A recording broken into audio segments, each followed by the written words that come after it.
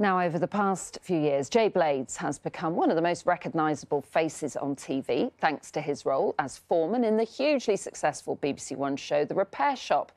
But the presenter has dyslexia and admits that he struggled at school. Well, today he shared his experiences with pupils in Rochdale, hoping to inspire the next generation. He's been speaking to Ian Haslam. Welcome to the Repair Shop, where much loved but broken treasures are brought back to life.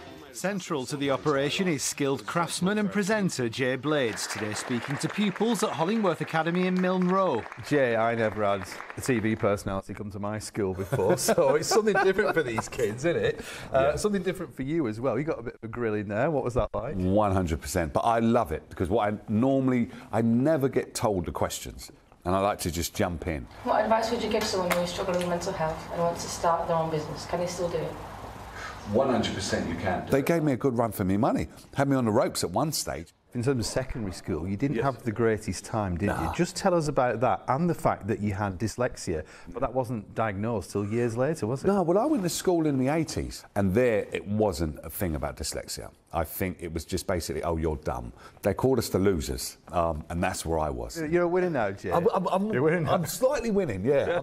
The repair shop's success comes as numerous traditional crafts, including piano making and diamond cutting, are now on the red list of endangered crafts. That's the thing that we're trying to get across to young people that learning a craft is not an old fashioned thing, it's a new fashioned thing. You can actually go out there, learn this, and do it one of the things you said that I picked up on was the fact that you're telling the kids essentially to, to be themselves. And if they've got a dream, just follow it. The main thing, especially for young people nowadays, is to be themselves because there's so many things around them telling them not to be themselves. You must be like this person, you must have this kind of look. Why don't you just be you?